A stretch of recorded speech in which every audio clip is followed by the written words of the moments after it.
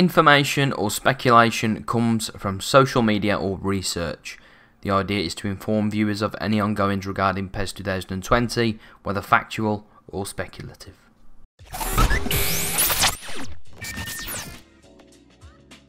Hello everyone, my name is Cam and welcome back to another episode of PES News. Hope you are all doing okay. So let's get into today's video. So Konami have released a launch week schedule for PES 2020. On release day we will get the first data pack which includes updated player faces and licenses and also we will be getting the first gameplay patch that will bring fixes and balance adjustments based on feedback for the community. We will also get our first match day event involving Euro 2020.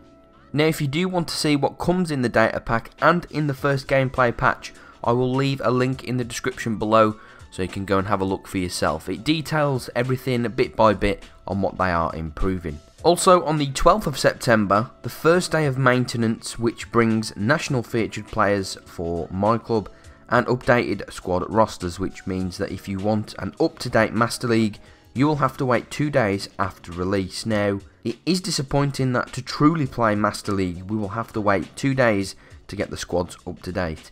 I do admit it is frustrating, yes, but it is nothing compared to what we used to have.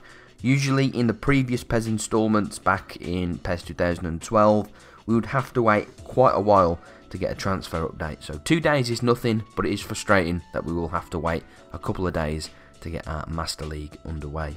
My Club News is finally here and with four days until the game is officially released, we have some official information coming from Konami themselves. So we have national team featured players which will come with a unique card design and general card designs which have been refreshed. Also, I must admit they do look very clean and they do look refreshing for my club in PES 2020.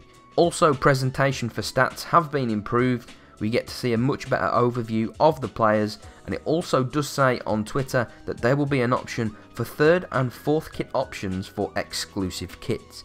Now exclusive kits could be the integration to do with Project 11 Lenovo did say that the Project 11 would have an integration into my club, but we don't really know a whole lot to do with Project 11 at the moment. And as we all know, legends are to be in the game, and new legends from partnered clubs will be integrated into the game also.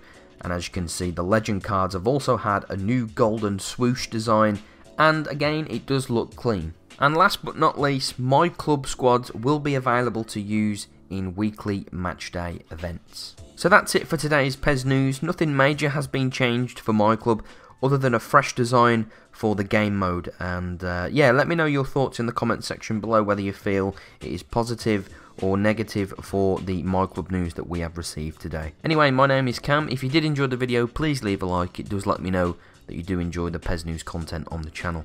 Anyway, my name is Cam, and I will see you all in the next one.